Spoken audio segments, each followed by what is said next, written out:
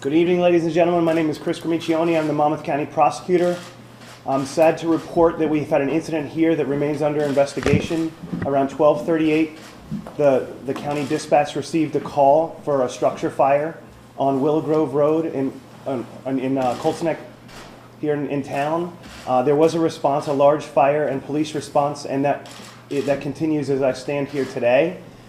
Unfortunately, we have confirmed that there are four fatalities that were found to be at the home. It's two adults and two children.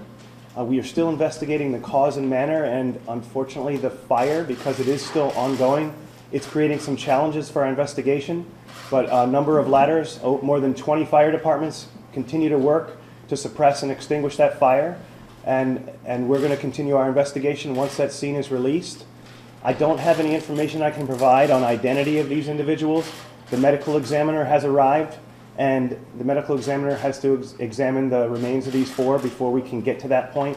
So information will continue to come out from our office. I would just encourage you to stay tuned, following us on Facebook and Twitter, and we probably have something more tomorrow. We are investigating this as an intentional, uh, as an arson, uh, an an intentional fire, but I have nothing further in terms of uh, investigating the fatalities that I can provide at this time. There was one, uh, one body that was found out front of the home. The other three were, were recovered from inside the home, and unfortunately, they were uh, burned severely as a result of the fire that they were exposed to. So that is, that's making things somewhat challenging with the medical examination that needs to ensue. But just stay tuned, we'll get there.